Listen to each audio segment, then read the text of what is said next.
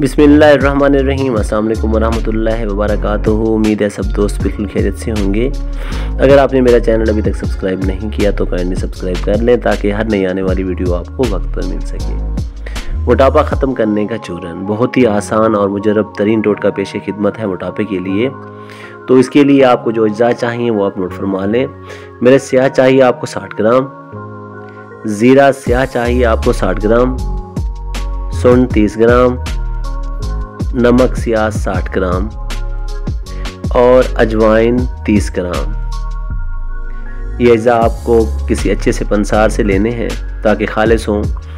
इन तमाम अज्जा का आपने सवूफ बना लेना है और जब भी खाना खाएँ तो सालन पर एक चुटकी छिड़क कर खा लें।